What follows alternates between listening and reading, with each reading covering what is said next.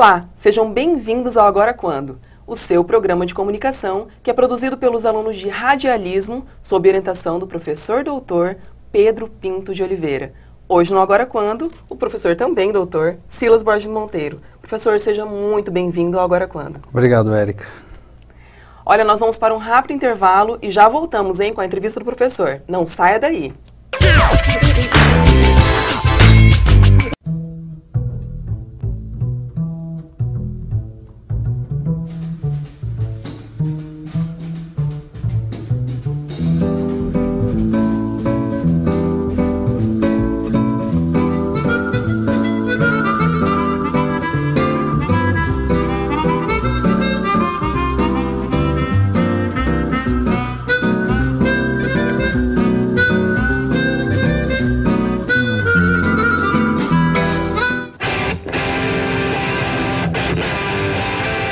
Eu comecei a velejar bem novinha mesmo, assim, tem até uma foto eu, o neném, com meu pai, assim, num, tornado. Eu acho que o brasileiro parece que tem que trabalhar mais para achar que ele é bom o suficiente comparado ao pessoal lá de fora. E isso eu percebi que é possível depois da conquista da medalha de bronze.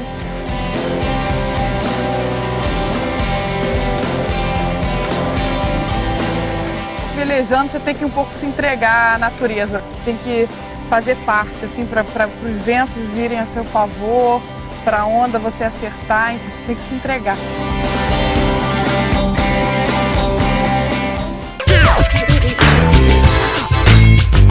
Hoje no Agora Quando, o professor Silas Borges Monteiro. Professor, você é diretor do Instituto de Educação aqui da Universidade Federal de Mato Grosso, que abriga os cursos de Psicologia e Pedagogia, onde você atua como professor no programa de pós-graduação. É, como você vê essa área da educação hoje?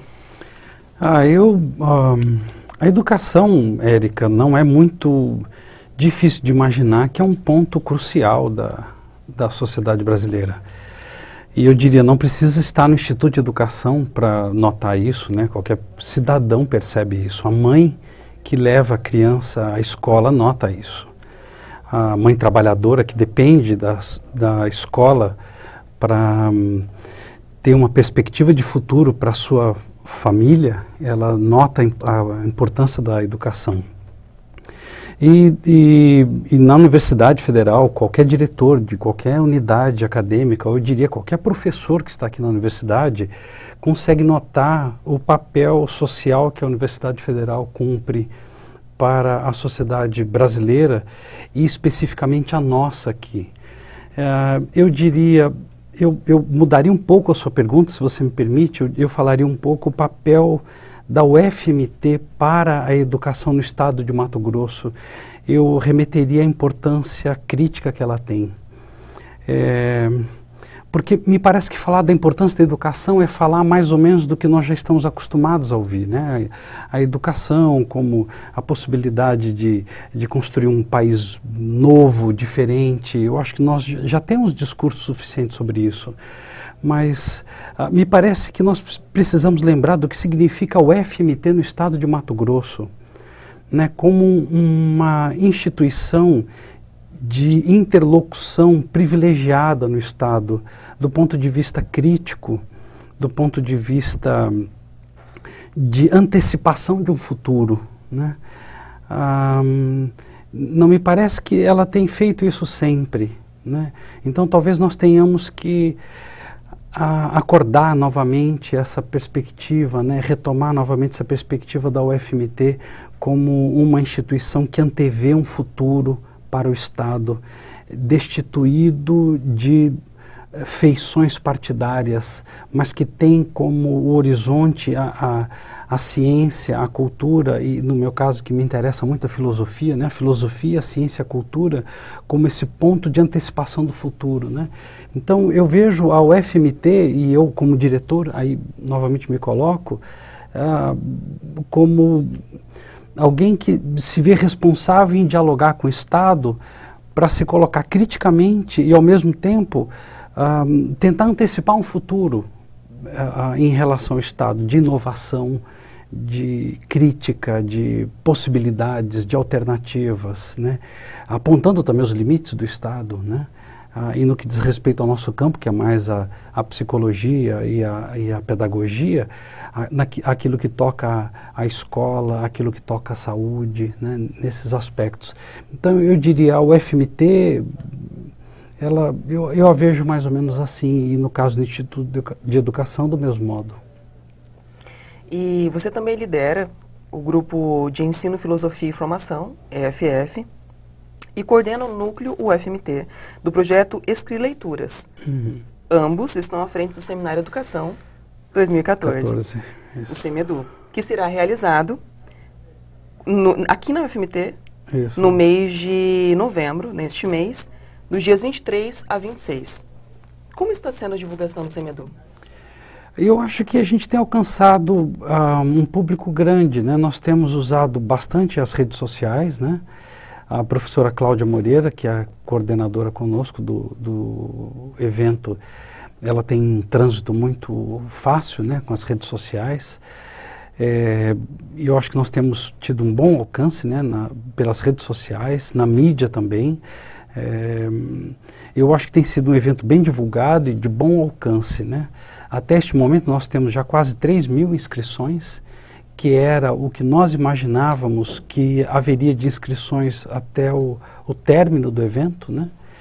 Então, ah, geralmente, próximo do evento, mais próximo da realização, ainda tem um grande contingente de, de inscrições. Então, acho que nós vamos superar a quantidade de inscrições.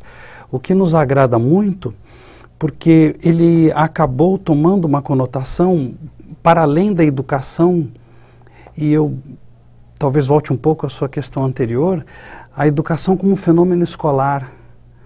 Né? Eu acho que é um equívoco pensar que o Instituto de Educação é um instituto que pensa a educação como um fenômeno escolar mas pensar a educação como um fenômeno social. Né? E, e o Seminário Educação deste ano trouxe isso, né? educação como um fenômeno social.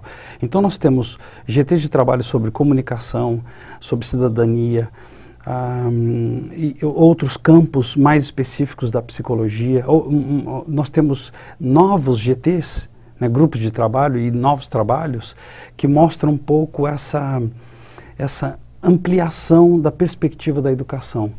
E eu acho que isso teve como resposta da sociedade que entende também a educação não só como um fenômeno escolar, mas como um, um fenômeno social. É, então eu acho que a, a, a divulgação e a, a, adesão que as pessoas têm tido ao evento é, demonstra um pouco o que elas entendem por educação. Né? E nesse sentido eu estou bastante satisfeito. No evento Semedu, no Semedu 2014, como é que se articula esse GT de comunicação? É, é um, um, GT que nós retomamos. Nós já tivemos esse GT em 2007 e depois ele ficou um pouco enfraquecido e agora nós retomamos. Na verdade, esse sonho antigo de ver fortalecido dois campos que eu julgo que são cruciais: a educação e a comunicação. Ah, eu não poderia dizer muito da comunicação porque não é uma área que eu conheço, mas na, o pouco que eu conheço da comunicação eu vejo a enorme contribuição que ela poderia dar para a educação. É, então eu vejo a escola, o tempo inteiro ela trabalha com comunicação, desde um, avisos corriqueiros até pequenas campanhas de conscientização que partem do pressuposto de que o fenômeno educativo, quando não trabalhado diretamente com a pessoa, como por exemplo um cartaz, ele se resume a dar informação. E, não entende que dizer algo sobre vacinação ou qualquer outra informação é um fenômeno comunicativo. Me, me parece, desculpe se eu disser alguma impropriedade do campo, né? Então, me parece que a escola é tão destituída disso que ela reduz todo o seu processo comunicativo à apresentação de cartazes que não dizem absolutamente nada para as crianças. E também me parece que os professores não conseguem lidar criticamente com os, os meios de comunicação. da mesma forma. A não ser quando são apresentados conteúdos muito explícitos. Né? Então, a proposta do GT é começar a recolher trabalhos que tragam um pouco essa, essa pesquisas, ensaios, ah, experimentações que ponham em questão esse, esse, esse olhar da educação em, em espaços educativos e as possibilidades de, de, de, de dar potência a um, comunicações educacionais dentro de espaços variados. Né? Uh, então, eu, eu, diria, é uma, é uma forma de sentar na mesma mesa e pensar junto o fenômeno educativo, porque é um seminário de educação, mas a partir de, de duas especialidades, né? do educador, que compreende esse fenômeno social, e do comunicador que também compreende esse fenômeno social e juntos pensarem a articulação do trabalho que eles podem realizar, né? Então, o GT é um pouco isso, né? Essa possibilidade de, um, de crescer um trabalho conjunto de um campo que cada vez mais ah, é fértil, né? Eu, ah, hoje, qualquer criança tem contato eh, fácil com, com internet, né? Qualquer criança, talvez seja um pouco de exagero, né? Eu, eu, eu tenho um pouco em vista Cuiabá, né? Talvez uh, um smartphone ou alguma coisa assim. As escolas têm, né? Um, internet. É, eu, a, o conteúdo da comunicação não pode mais ficar fora da escola, né? não pode mais, sob pena da escola é, é, começar a ser punida por isso. Né? Então, me parece que esse GT vem trazer um pouco esse ponto crítico da educação, que tem ignorado esse campo e não tem pedido ao campo a, a contribuição que ele tem para dar. E ainda nessa percepção da educação, da educação é, dialogando com outras áreas, não só na comunicação, mas é, o senhor sente que existe uma, uma, uma que dialoga bem, que, que, que, está dialogando bem com os outros campos na, na pós-graduação de filosofia, é, nos, nas orientações. O senhor percebe que existem outras pessoas de outros campos, do direito, é, de biologia, da comunicação, dentro da, da, da pós-graduação na educação? Há esse, esse, esse, diálogo? Eu não saberia dizer, mas me parece que hoje a comunicação ela tem, ela tem adotado uma, uma posição mais contundente é, na sociedade, ah, ah, talvez pelo fenômeno da internet, né? ela, tem, ela tem se ampliado é, de, de um modo muito mais contundente. Né?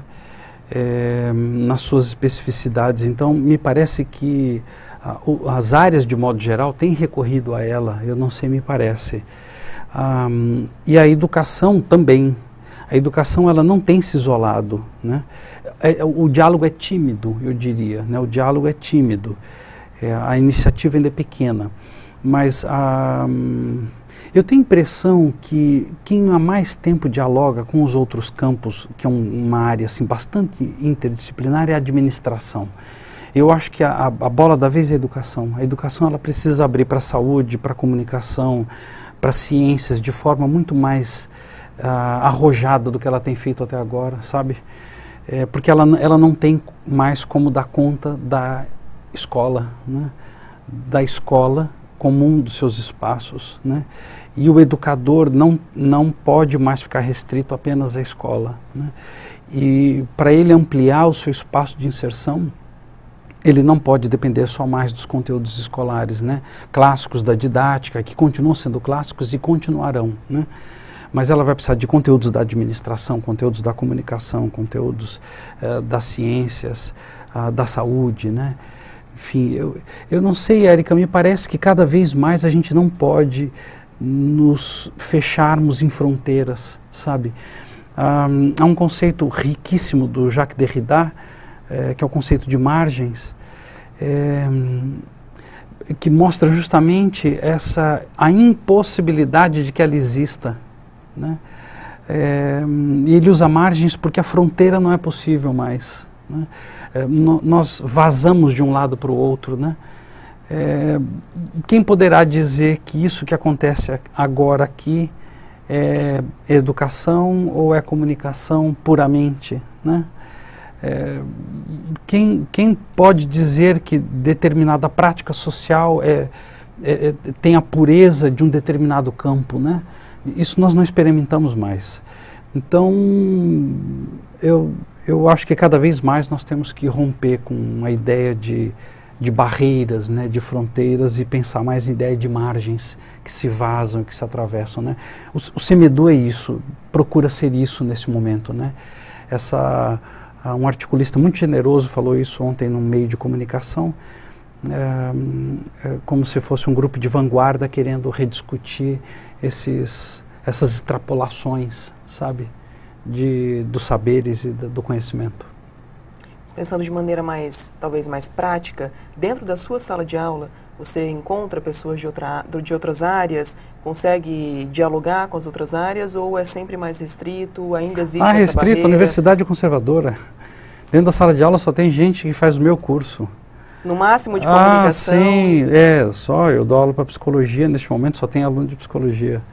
É, no mestrado ainda no tem, mestrado. Um, é, mestrado e doutorado ainda tem uma certa diversidade, é, mas o mestrado ainda tem feições conservadoras, porque ele faz recortes muito pequenos e todo mundo acaba vindo, né, para um campo assim mais... Uh, é, eu acho que ainda a gente precisa reaprender a fazer, a produzir no estrito senso, a gente vai precisar reaprender a produzir academicamente, né? não dá para continuar assim. A hiperespecialidade não faz mais sentido. É, as, a graduação com essa feição de hiperespecialidade também não faz mais sentido. Né? As, as, eu, eu, estive no Japão por conta de uma experiência do curso de especialização é, de um curso de graduação né, de pedagogia lá da, da UFMT. E tinha uma sala de aula que eu nem me lembro o nome dela. Era, eram alunos, eh, cada aluno de um lugar do mundo. Usavam um idioma, né, o inglês, porque era comum a todos. E eles, o, o, conteúdo basicamente era, eram narrativas de experiências culturais de cada um. E o professor é, mediava esses debates com teóricos e cara eu fico imaginando a riqueza de uma, de uma coisa dessa sabe de cada um trazendo a sua ciência a sua ciência a sua experiência com o conhecimento com a cultura e isso sendo revisitado partilhado atravessado enviesado num diálogo enorme né pluricultural multicultural. É, a universidade é muito conservadora para experimentar isso, né? A gente tinha que colocar disciplinas em cartaz e abrir para todo mundo, né? De todas as áreas e desde as mais ah, talvez mais apegadas às quantidades até as mais voláteis, né? E, e ver isso fermentar como saber, né? E tanto no Escolhi Leituras como no EFF, vocês possuem bolsistas e integrantes da nossa área, na área de Uhum. comunicação, que agrega as habilitações de publicidade, jornalismo e rádio e TV. Considerando que o Instituto de Educação, o IE, fica ao lado do o Instituto de Linguagens, você acredita que essa integração aconteça pela proximidade geográfica ou pela, pelos coordenadores, através dessa, dessa de uma vontade, de uma integração natural ou de uma talvez de uma de uma busca da, da educação pela comunicação, eh, pelo comunicólogo, pela, pelas práticas que nos conduzem da, da, da publicidade, da propaganda. É essa busca ou é a proximidade geográfica? O que, que o senhor, Olha, eu o que, que o senhor acredita? Eu acho que isso acaba sendo um pouco resultado de contingências, sabe, Érica? Infelizmente, entre o IE e o IL tem um corredor que é maior que o muro de Berlim. Na época pior, sabe? Aquilo para ser atravessado é uma coisa louca, né? É, com exagero e tudo, né? Eu sou dramático e exagerado. É, nós temos muitas dificuldades institucionais na UFMT, como em toda instituição pública não por causa das pessoas, né? porque a, estrutura burocrática é muito, muito pesada, né? isso nos pesa né? muito. Um, a, e as contingências uh, produz bons encontros. E esses bons encontros faz com que as pessoas atravessem esses muros e, e criem laços para além das amarras burocráticas, né? É, e isso permite os nossos trânsitos, né? Então, essa, essa proximidade do F com a comunicação, um pouco por mim, porque eu, eu gosto, mas também por conta da professora Cláudia Moreira, né, que, que é do grupo, é, fez mestrado na educação, né, e por onde teve nosso vínculo, teve o vínculo com o grupo e, e, e, e a próxima do grupo, é, e também por interesse do grupo em tentar ser mais, de ter uma feição mais multimídia, né, ou multimediático tentar ser, acho que nós não conseguimos, mas tentar ser. É, isso poderia ser fomentado pela instituição? Eu acho que sim. Né? Ah, eu, eu disse que na sala de aula que eu dou só tem alunos do curso onde eles estão matriculados, é porque também é difícil uh, um estudante sair do seu curso e ir para outra sala de aula porque cruza horário, porque nem sempre consegue registrar aquela disciplina na, na matriz curricular dele. Quer dizer, não é má vontade das pessoas, é uma, é uma, é uma máquina que, que nem sempre favorece a diversidade. Né?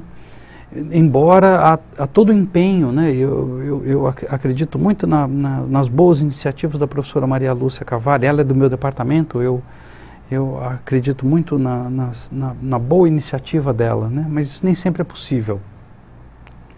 Então, a, a, proximidade geográfica, ela, ela sempre é um pouco impedida pela dificuldade cartorial que nós passamos. Né?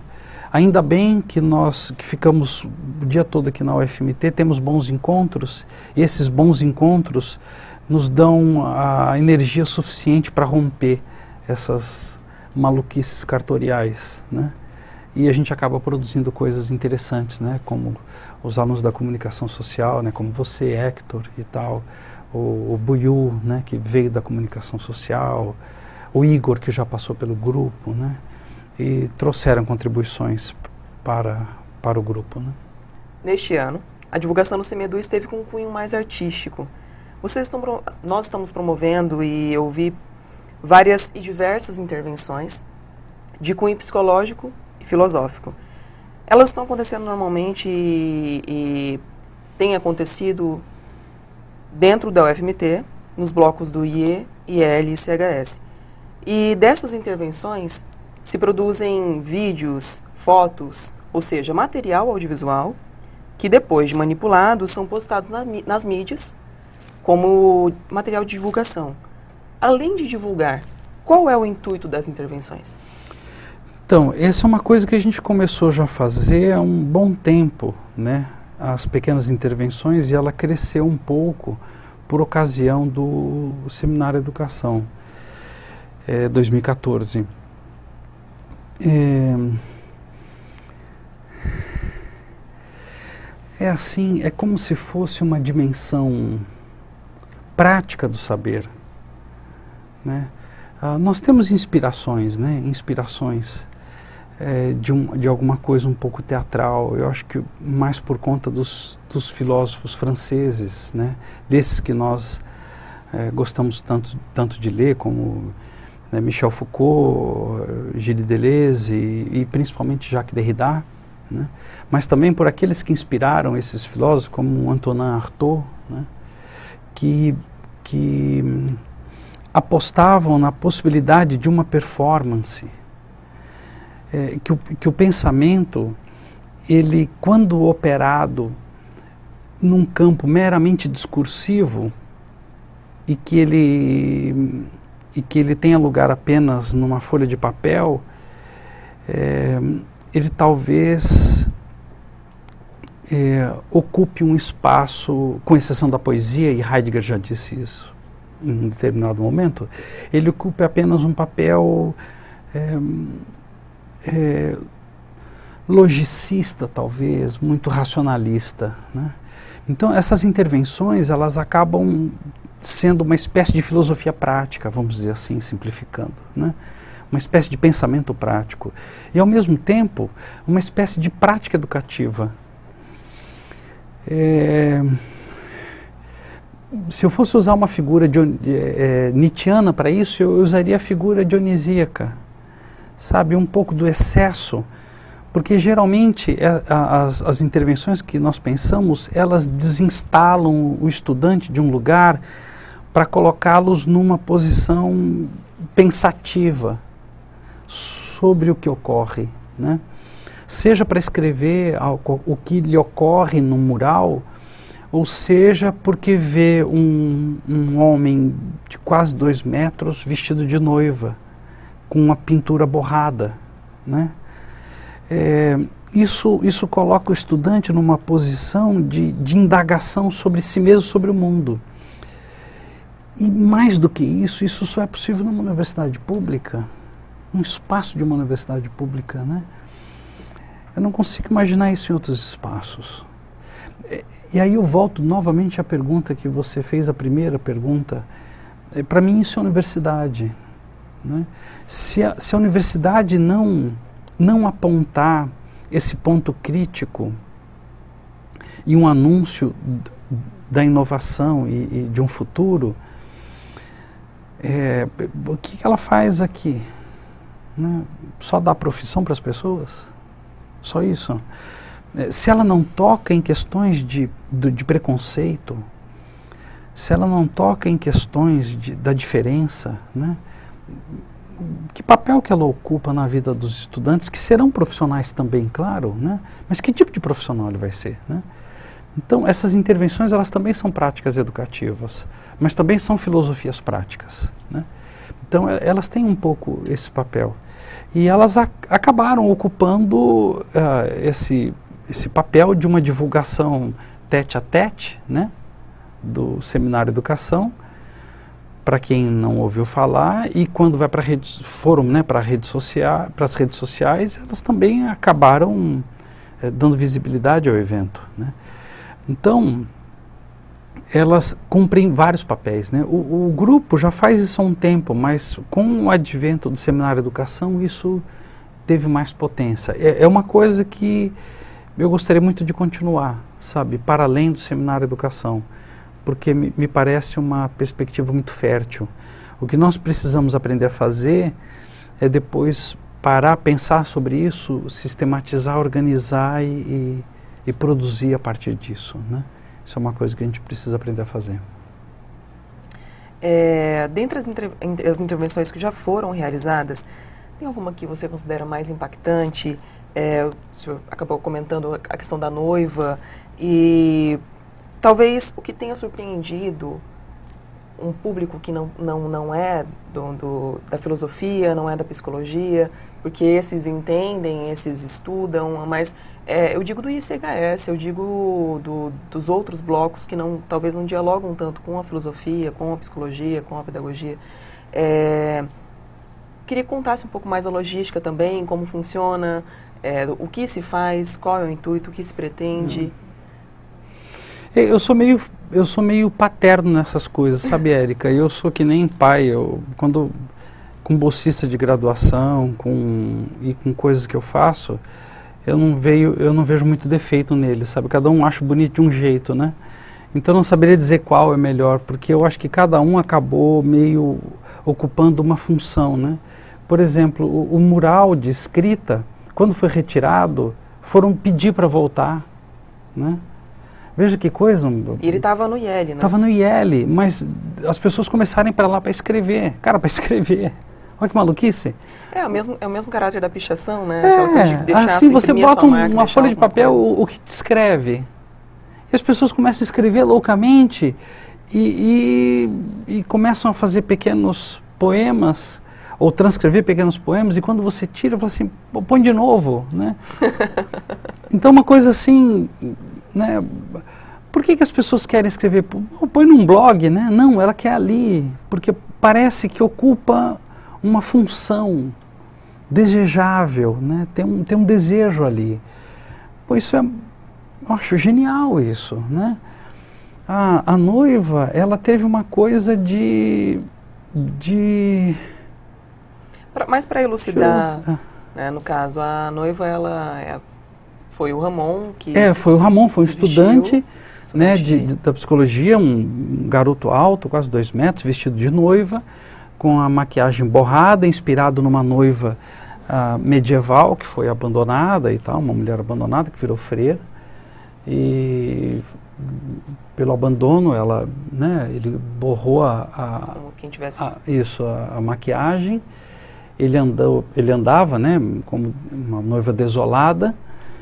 O Oliver, que é um professor né, da, da, da música, seguia tocando marcha nupcial e outras coisas no violino, outras composições no violino atrás dele. E o João Ninguém, que é o nome que ele gosta de ser chamado, João Ninguém, que é um, foi, foi meu aluno na filosofia, né? eu orientei o TCC dele de filosofia em Nietzsche, é, gritando poemas de Manuel de Barros, Hilda Hilst e outros, alguns poetas cuiabanos também, e gritando, sim, gritando loucamente pelos corredores.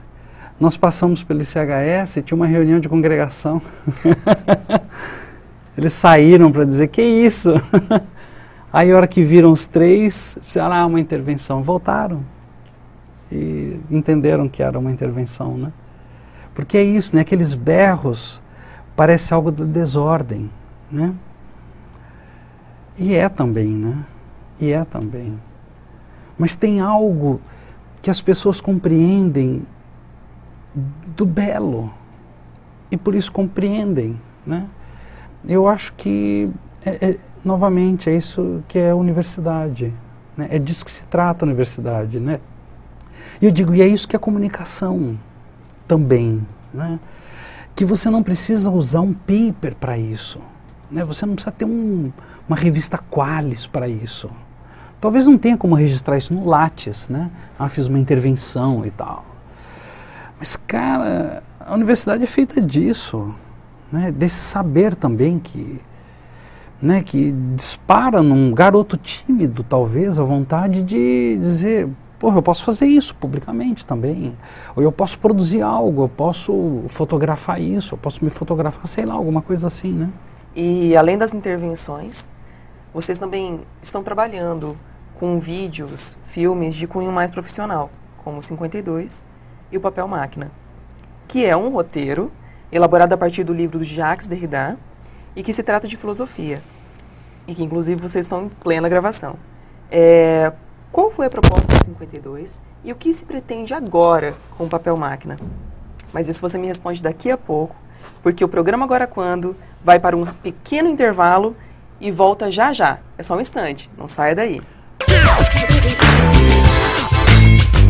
Em um estúdio de dança, quatro bailarinos sem deficiência coreografam segurando uma mulher com deficiência física. Em seguida, uma das bailarinas sem deficiência coreografa com um homem cadeirante passando uma bola de gás laranja pelo corpo dele. As duas coreografias se mesclam.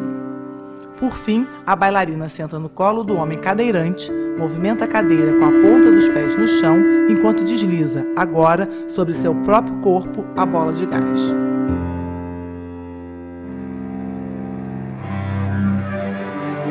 Em tinta e no alfabeto em libras aparece escrito: Acessibilidade é um direito. TV Brasil.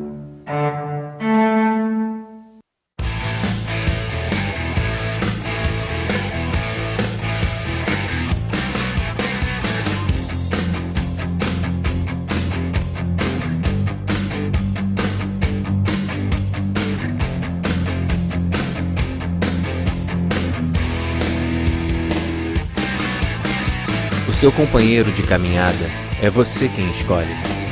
Orientação sexual é um direito.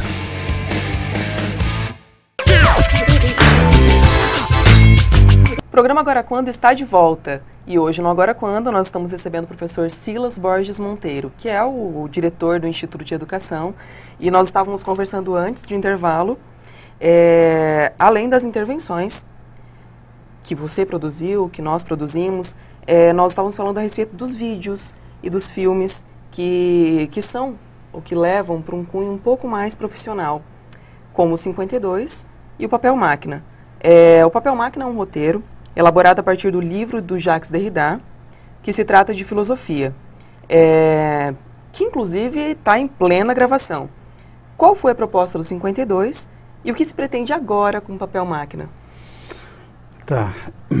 Então, 52, eu diria que foi. É, assim. É um, eu diria que é um fenômeno da minha idade. 52, eu tenho 52 anos, né? É um, é um vídeo autobiográfico. Eu. É como se eu tivesse realizado uma, uma questão infantil. Quando eu era criança, eu, eu assim, ficava imaginando produzir, associar, porque assistia é, filmes de, de TV, né? Era muito influenciado pelo aquela onda Beatles, Monkeys e Jackson 5, né? Aquelas são os o germe dos clipes que viriam depois, né? Com Michael Jackson depois e tal. Então eu imaginava muito a associação de música e imagens, né? era uma coisa que me encantava muito na infância. E eu pensava que em um determinado momento eu poderia fazer isso, né? se fosse possível fazer isso. E, e hoje a tecnologia é muito mais fácil, acessível, né? e isso aconteceu de fato. É, então eu tive por uma série de razões subjetivas, né, de, de, de, um momento subjetivo que passei este ano, 52, né, de, na minha idade, eu peguei um, um, um texto do, do, do, Jacques Derrida, a última entrevista que ele deu, chamado Finalmente Aprender, Aprender a Viver Finalmente, e usei uma estratégia que eu chamo de roubo. Né, eu peguei frases do Jacques Derrida, tirei completamente fora do contexto da entrevista e reescrevi essas frases como se eu estivesse entrevistando a mim mesmo. E peguei essas frases, montei um texto, dei para uma, uma dançarina profissional, que aliás foi aluna da comunicação social, Mariana Prats, né? É, pedi que ela lesse aquele texto e contei um pouco a história dos personagens que eu criei né, nessa entrevista. E um grupo de amigos, ela também, né, um grupo de amigos resolveu ajudar, a Cláudia, né, o professor Moacir também, né, enfim, grupo de amigos, Buiu, Hector, enfim, João, é, resolveu organizar isso tudo e, e montar esse vídeo, na verdade é um vídeo, né, e ela dança duas músicas uma música de um álbum chamado Derrida, de um japonês chamado Ryushi Sakamoto.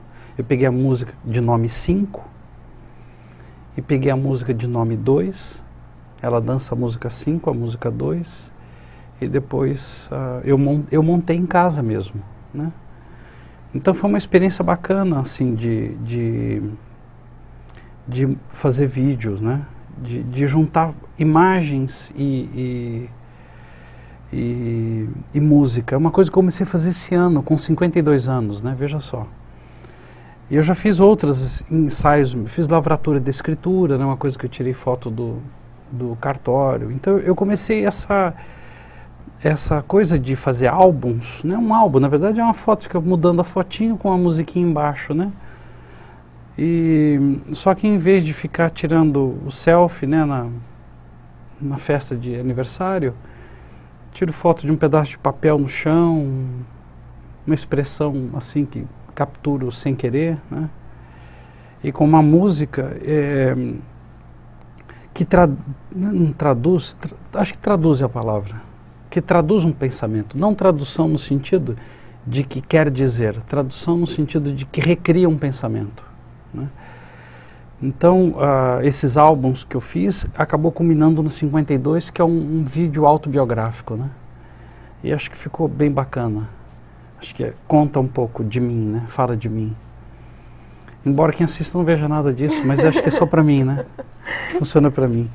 E o papel máquina, ele nasceu com o Celso Prudente. Esse sim, acho que é profissional, né? O, o 52 é um, é um, é um encontro alegre de amigos, né? É um bom encontro de amigos. O papel máquina, eu acho que é mais profissional, que o Celso nasceu com o Celso Prudente quando nós assistimos um filme dele, numa sessão que nós fizemos numa reunião do grupo, né, da, uh, chamada Tua Presença Negra. E é, nós tivemos a ideia de fazer um filme e eu acabei fazendo em cima do livro desse livro do Derrida, né, Papel Máquina, porque para o Derrida o livro é um papel máquina, né, essa ideia para os filósofos da diferença, a ideia de máquina é uma ideia forte, né? Então o livro como papel máquina e eu usei a mesma estratégia. Peguei quatro capítulos do livro, roubei frases do livro, as frases estão lá, mas eu as tirei por absoluta arbitrariedade e montei diálogos, pequenos diálogos. E, e o, o livro Papel Máquina Derrida anda pela universidade. E cada vez que ele para num lugar da universidade, alguém é lido pelo livro. O livro lê a pessoa. Né? É, são quatro cenas e cinco transições. Né? É, e realmente está tá em produção. Ele, ele, é pensado, ele não é pensado para o seminário educação, mas ele a, a ideia de que seja né, o seminário educação é o contexto dele, né? Então esse eu acho que vai sair um pouco mais elaborado, né? Imagino que sim. Mas é uma experiência bacana, trabalhosa, né? Não fazia ideia do que é fazer um filme. É muito trabalhoso, às vezes cansativo, né? É, não, realmente não é a minha praia, né?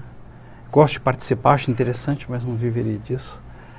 É, mas é, um, é muito potente, é, uma, é um filme curto de 10, 5, 6 minutos, 7 minutos, uma coisa assim. É, eu gostaria de ser capaz de dar ideias tão fortes em períodos tão curtos. Sabe, eu acho que eu tenho uma espécie de inveja dos vídeos, né? É, de, de, da densidade de um, de um pequeno curta, sabe, de um filme com tanta potência dá uma ideia uh, em um período tão curto. Gostaria de ser capaz disso. Agora, pensando nas possibilidades e pensando até num, num caráter mais, mais seu, da sua percepção, o senhor acha que é possível escrever ciência através do audiovisual, ao invés de, sei lá, produzir um artigo? É, seria possível escrever essa, esse, esse artigo sendo como escrever essa essa mídia, escrever esse vídeo, ou esse documentário, ou esse filme, de, com um caráter mais científico, ao invés de escrever uhum. em si? É, eu, eu acho que a gente caminha, pode caminhar nessa direção. É, eu não consigo visualizar ainda, quer dizer, eu posso fazer ensaios de imaginação do que seria isso, né? É, embora às vezes a minha experiência é, é, superestime o uso da mídia, né? Por exemplo, eu eu não eu não leio mais livro impresso. Então eu tenho a minha biblioteca toda que deve ter, sei lá, uns 5 mil títulos disponível totalmente para mim em qualquer lugar por onde eu vou, né? Sem contar os livros que ficam o tempo inteiro no meu tablet. É, e os que eu estou lendo no momento, né? Mas eu, eu olho para meus alunos que têm menos da metade da minha idade e a impressão que eu tenho é que eles só sabem entrar no Facebook, né? E eu imagino que como eles nasceram com isso na mão, né, deram uma chupeta e um smartphone para eles, que eles tratariam isso como se fosse, né, algo parte do corpo deles. Então, às vezes eu superestimo o uso facilitado da tecnologia, né? É, mas eu, eu talvez não veja, mas uh, ela caminha nessa direção. Eu acho que há um esgotamento da linguagem discursiva para a produção da ciência. haverá ainda uma forma de, de criar os critérios para a apresentação da, do, do conhecimento científico que venha associado o discurso à imagem e que não é material didático. Né? Não estamos falando de material didático, talvez o material didático isso, isso ocorra, mas em, em, num, num material acadêmico, né? que ele tenha ou a combinação do discurso, de um, de um texto discursivo e de, um, e de imagens e vídeos, ou mesmo de um, de um discurso totalmente midiático, que ele venha numa, numa plataforma, numa mídia, num meio que seja possível de apresentar. Né? Numa revista eletrônica, por exemplo, que o primeiro artigo que você clica é um vídeo. Né? É, eu, eu, imagino que sim. Isso, isso para mim é uma realidade. Né? É, assim, eu, eu, consigo visualizar até com os meios que nós temos hoje. Né? É, talvez a ignorância das, da, de quem produz. Ah, esses dias eu estava. Eu li um livro que eu me esqueci, um livrinho de um jornalista, um divulgador americano, né? não era um acadêmico, não era nada, um o jornalista pegou e fez uma compilação, uma, um pouco uma crítica ao Google é, sobre é, uns 10 anos atrás, 15 anos atrás, o Google estava digitalizando todas as, as, grandes bibliotecas americanas de graça, né?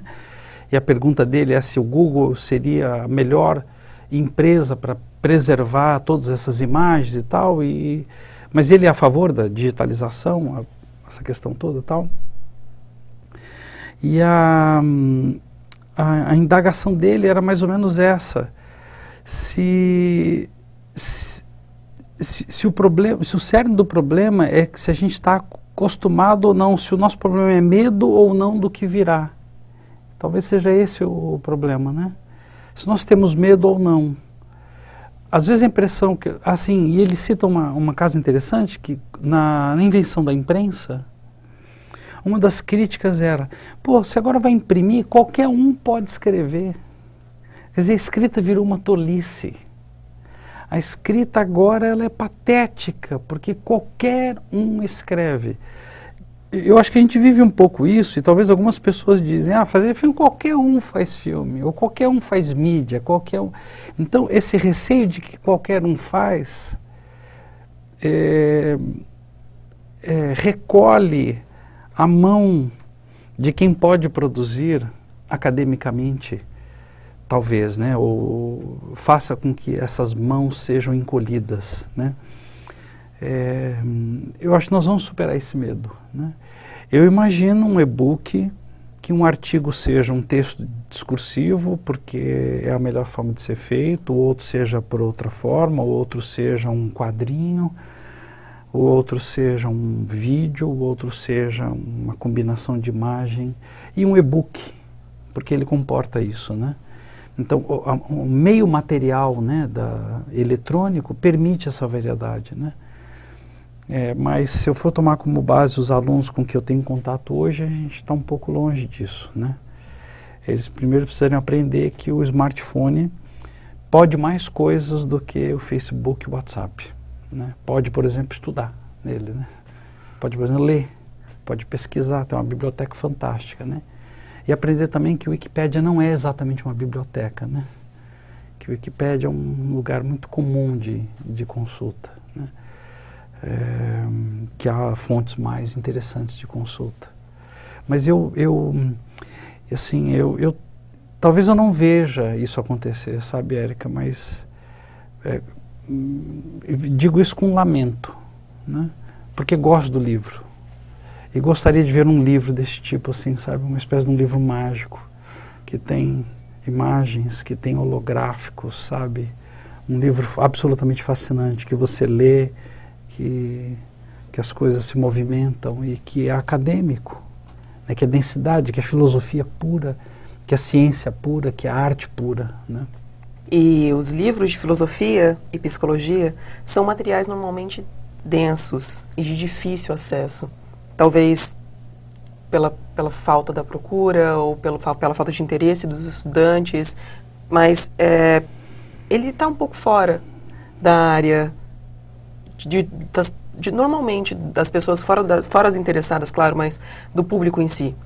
É, talvez por, porque as pessoas pensam ou já colocam uma dificuldade a respeito da, da leitura mais cansativa e pesada. Você acredita que esses materiais de mídia, é, um vídeo ou um filme a respeito de Derrida, a respeito de outros, é, de outros livros, é, levem, é, façam, deixem um fácil acesso a essa cultura, a essa, a essa leitura em si? Eu não tenho dúvida disso. Me parece uma das melhores introduções ao pensamento do, do Gilles Deleuze.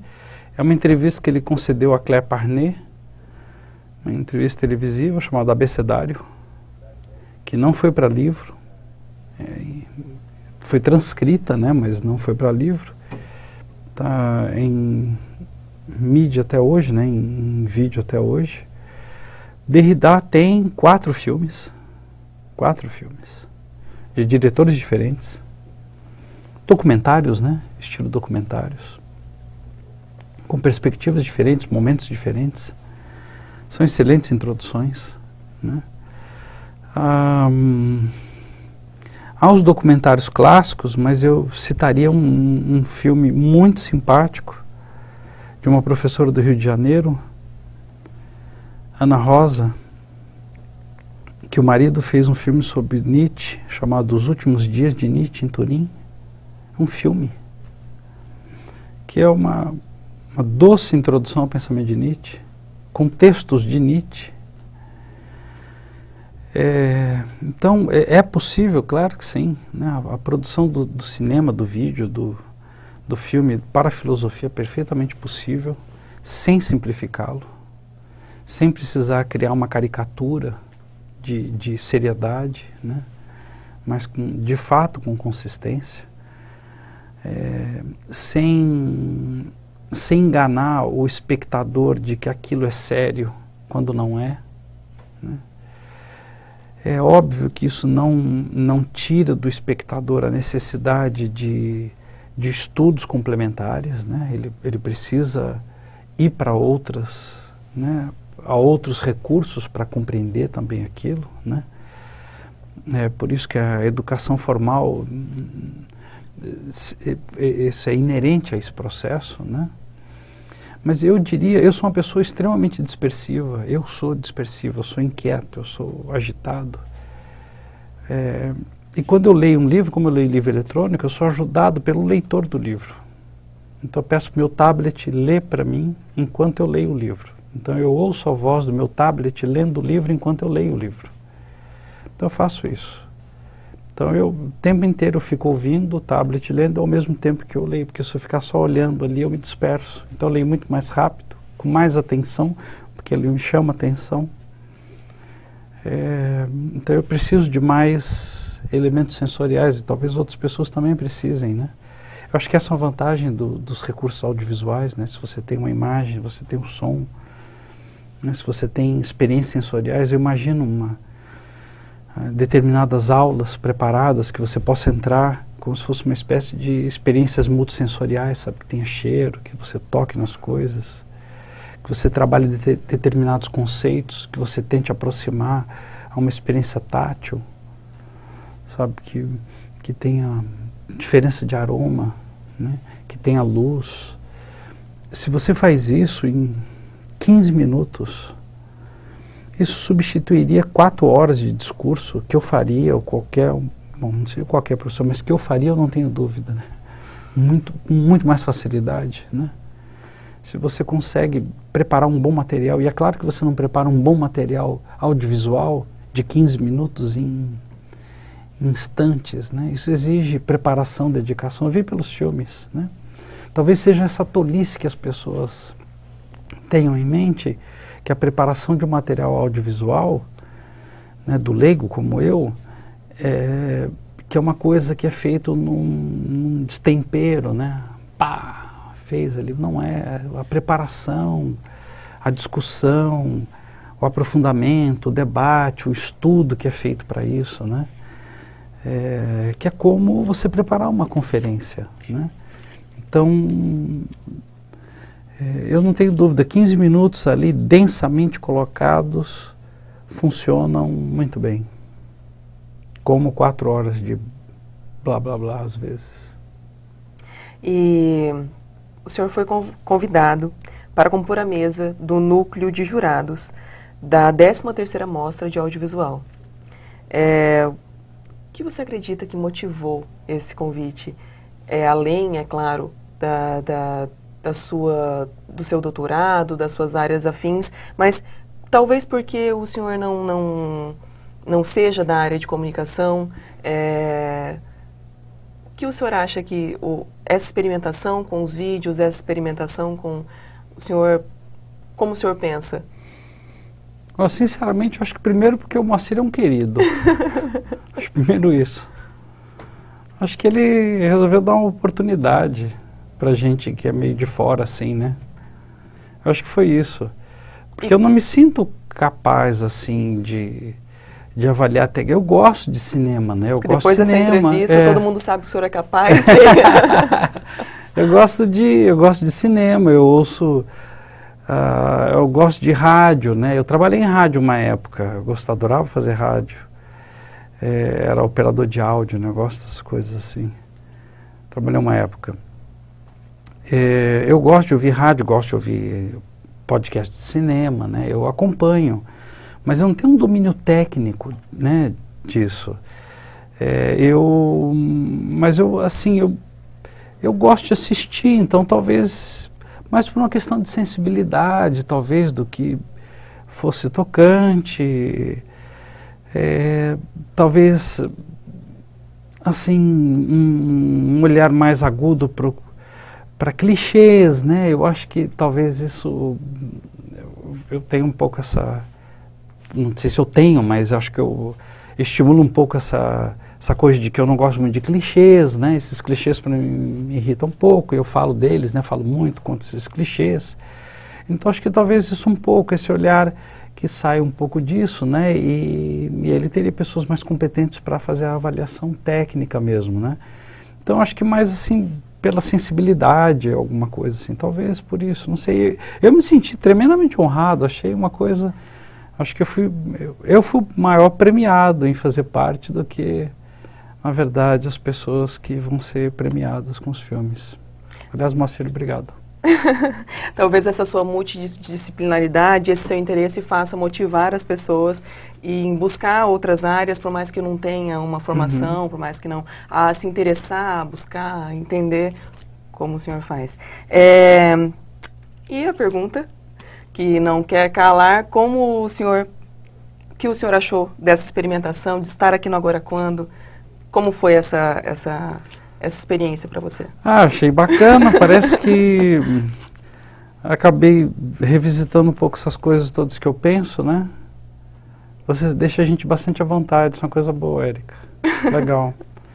é, é uma experiência bacana de mais ou menos organizar essas coisas que a gente pensa, né? Uh, depois que eu falei, às vezes eu tenho a sensação que eu vou me arrepender de algumas coisas que eu disse.